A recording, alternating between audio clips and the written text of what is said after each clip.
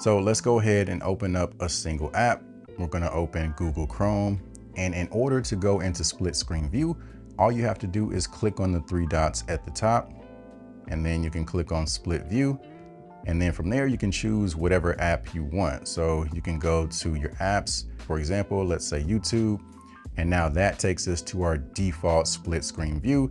Now, if you need to resize either of these windows, you'll notice you have this gray bar in the middle.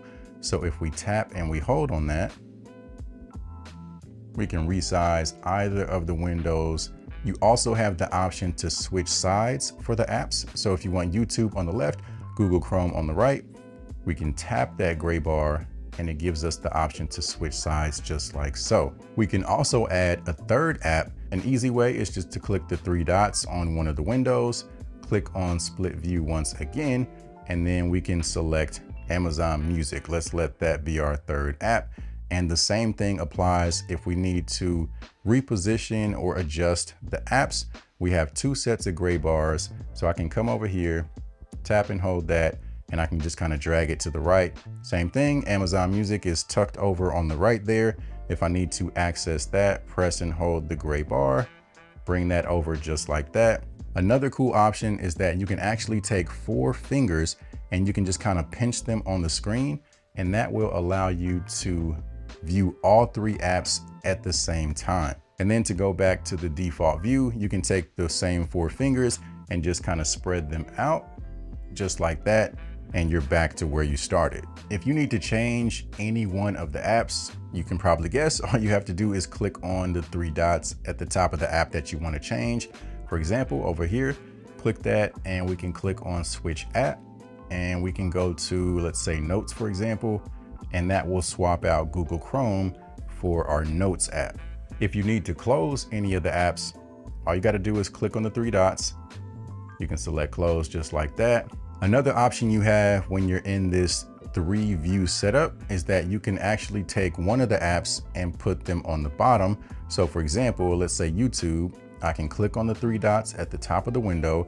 And if I click on expand, we get kind of a two up, one down setup. So you can see I got YouTube right here, and then I have a gray bar at the top. If I drag that down, that takes me to the two at the top. And then if you wanna go back to the default view, all you have to do is come down here. Let's go and click on the three dots for YouTube and we can click on shrink. And that takes us back to the side-by-side -side style setup. And then another option that you have is that you can turn any of the three apps into a floating window. So again, let's say YouTube, for example, click on the three dots and then tap floating window. And now we have Amazon Music, we have Google Chrome as the main apps. And then in this smaller window, we have YouTube there just kind of floating on top. And we can reposition that by pressing and holding the three dots at the top. And you can also resize the window. So if you click on the edges like that, you can just kind of drag it up and that will make it bigger or smaller. And then when you don't need that floating window, if you just wanna park it on the side, click the three dots and select minimize. And as you can see, it just kind of pins it over there on the left side of the screen. Now to access it, simply just drag it over just like that. Now, another option you have as far as adding apps to your split screen view is the sidebar. So let's actually switch sides here. All right, so now we have Amazon Music over here and that makes it easier to see the gray sidebar right there. And if we simply drag that over like that, you can see you've got some apps over here to choose from. So you can see we got a couple just hanging out there, but if we want to add more, you can simply go to edit and you can choose whatever apps you want to stay in that sidebar. But for now, let's just keep things as they are. And just for an example, if I click on Google Chrome, you can see that opens up a floating window. Now let's actually go ahead and add that to the split screen view. Now another thing that is really cool is that if you ever exit out of your split screen view, you can click on the recent tasks, the little three lines there, and it'll keep that split screen view that you had in your recent tasks so that you can access it once again. You'll also notice that there's an icon right down there as well that allows you to access the split screen view. So you can just simply click that just like that and it takes you back to where you were. Something else that's really useful is that if you have a split screen setup that you plan on using on a consistent basis, you can actually save it. So for example, here, I got YouTube, I have Amazon Music, and now I have my notes over here. I can click on one of these gray bars in the middle in between the windows, and I can select Save as App Group. So now, if I actually close out of these apps, so everything is closed, but now if I swipe over on my home screen, you can see I have an icon with those three apps and all I have to do is click on that and it takes us right back to our setup. So if you're familiar with OnePlus devices, then I'm sure you probably know you can take three fingers and you can swipe on the screen just like that, and it'll take a screenshot. Another option you have is you can take three fingers and you can tap and hold and then it allows you to select the exact section of the screen that you wanna grab. And from there, it takes you into the editor if you need to make any changes. If not, just simply click the check bar in the top right and you're good to go. Now, this also works with the touchpad on the keyboard if you get the keyboard accessory. So again, I can take three fingers and I can just swipe down on the touchpad. As you can see, it takes a screenshot. And the same thing works if I wanna take a screenshot of a section. I can take three fingers, tap and hold, and then I can adjust that on the touchpad just like so. Something else that's really cool is if you're in a split screen view like we have right here, and you only wanna take a screenshot of one side of the screen, all you have to do is take your three fingers and swipe on the side of the screen that you wanna grab. So for example, over here, and the same thing for over here, I can take my three fingers over here and it'll only take a screenshot of the YouTube app. Next up, let's take a look at some of the AI features. And one of those features is circle to search. And all you have to do to activate that is press and hold on the home button, just like so.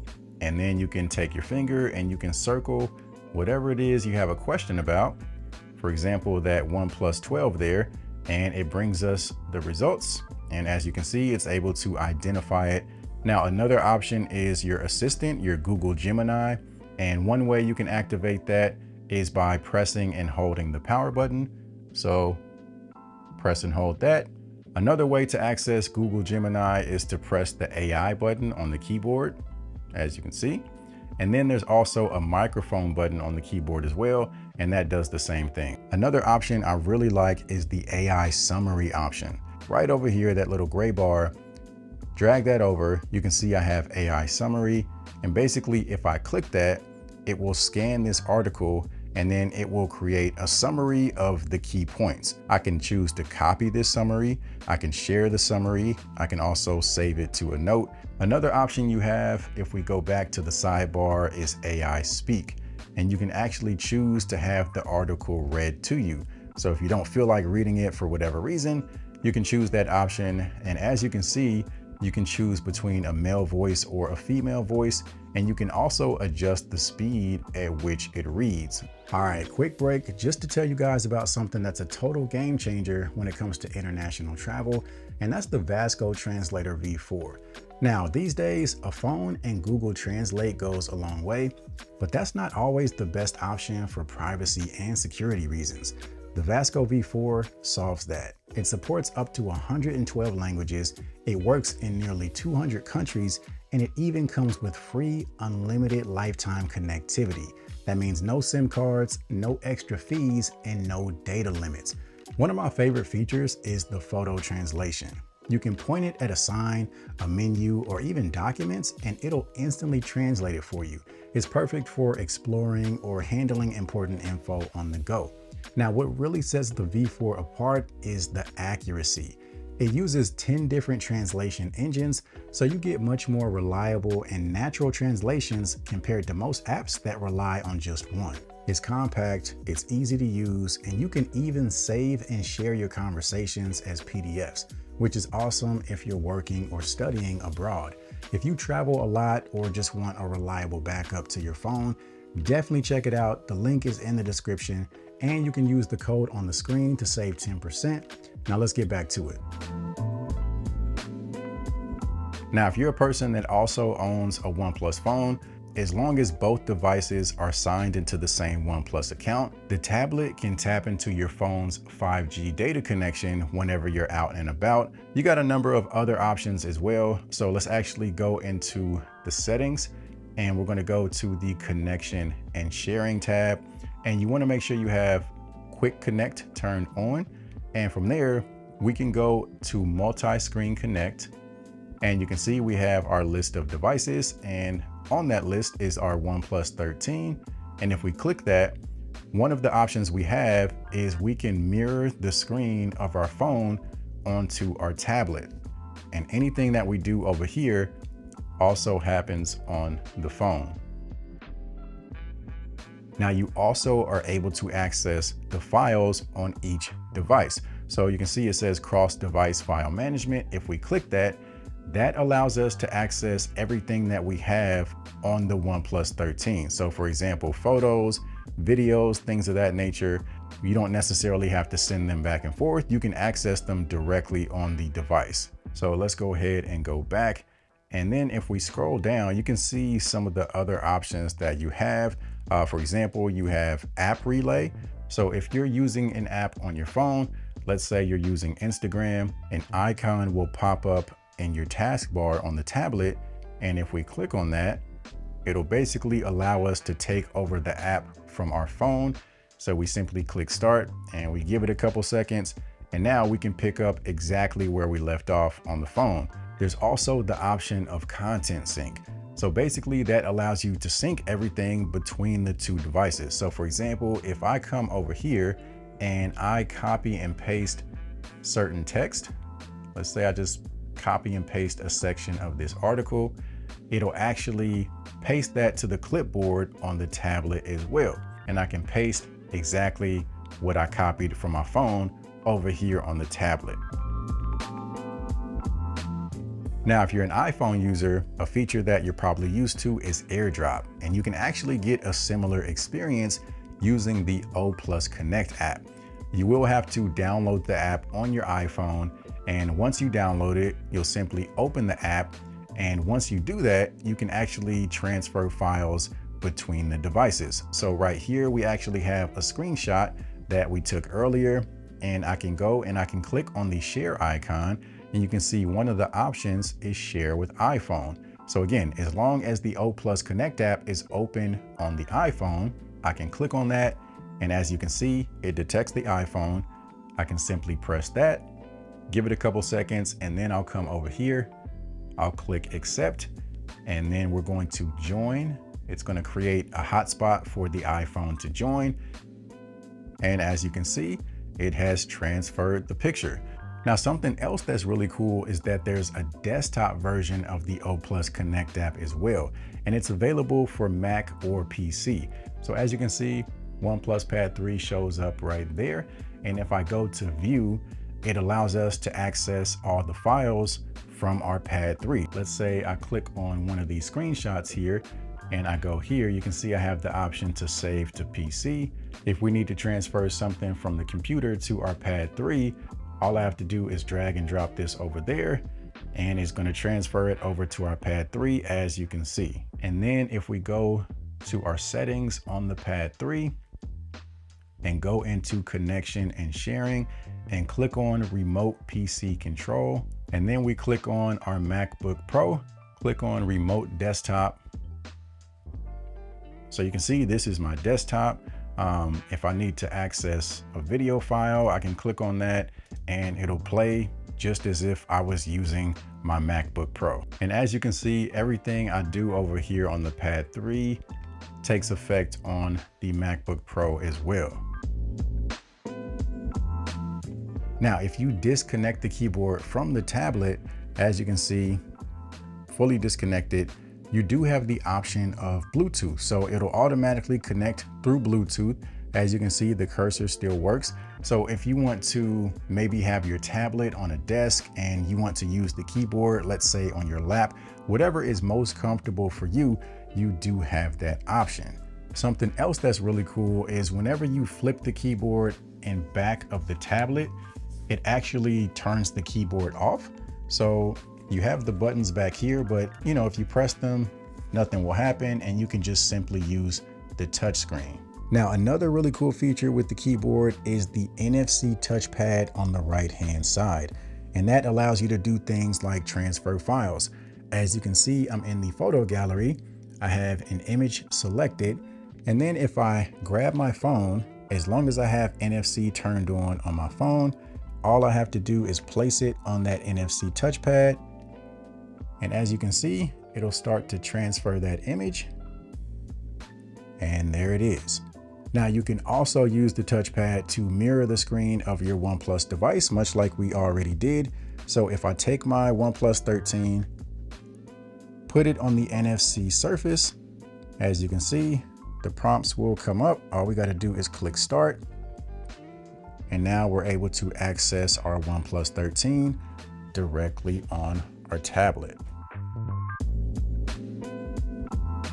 So let's actually go into settings and let's go down to system and update. And then we're going to go to stylus and a few things you want to make sure you have turned on are screen off note. As you can see, we have that activated. And then where it says swipe from the top right corner, we have that set to take a quick note and then double tap to switch we have that set to switch between the current tool and the eraser. So let's actually take a look at what all that means. Whenever the tablet is off, if you take the stylus and you just start pressing on the screen, it automatically takes you to a note. And then as far as swiping from the top right corner, as you can see, do like that, it automatically brings up your notepad so you can go ahead and start taking notes very, very quickly. Now, when you're taking your notes, an easy way to switch between the pen and the eraser is to double tap the stylus just like that. As you can see, now we're able to erase, double tap it again, and it goes back to the pen tool. Now, another option you have with the stylus is presentation mode. So if you go into your settings, go down to system and update, go over to stylus, and then if you scroll down, you can activate presentation mode. Now with presentation mode active, we can use the stylus like a laser pointer. And to do that, you simply tap and hold on the stylus. And as you can see, the little red cursor comes up. You can also draw annotations. To do that, you simply double tap and then you press and hold. And you can see you can place a mark wherever you want. And then in order to erase it, you simply double tap just like that. So that pretty much covers it. Those are some of the key features that I think help in terms of productivity when it comes to the OnePlus Pad 3. Hopefully you guys found it to be helpful. And if you have some tips and tricks to help improve productivity, feel free to leave them down in the comment section below. Aside from that, I appreciate you guys for watching. And as always, I'll see you in the next one.